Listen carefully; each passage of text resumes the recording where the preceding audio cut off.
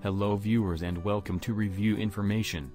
In this video I will show you, how to use Smart Lock to unlock your OnePlus Nord N10 automatically.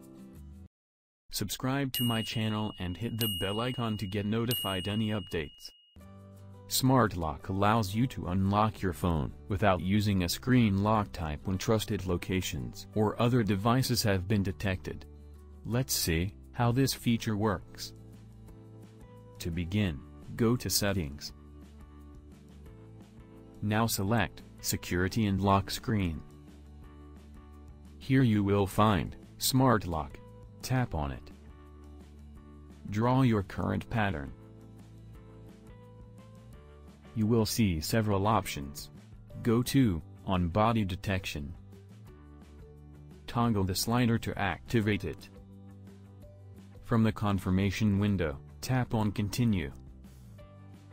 From now on, this feature will use your phone's motion sensors, to keep it unlocked while it's in your hand, your pocket or a bag. If it senses that you are in motion and you have unlocked your phone with any other method, it stays unlocked. When things stop moving it locks the screen. Now go back. Then go to, Trusted Places. Now tap on, Add Trusted Place. From here you can select any location as trusted place, to keep your phone unlocked whenever you are there.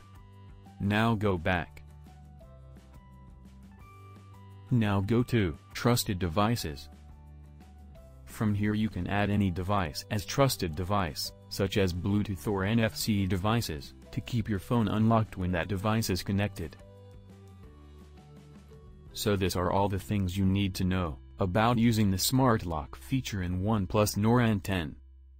Thank you for watching. Hope you guys enjoyed my video. Please subscribe my channel for more videos. Goodbye.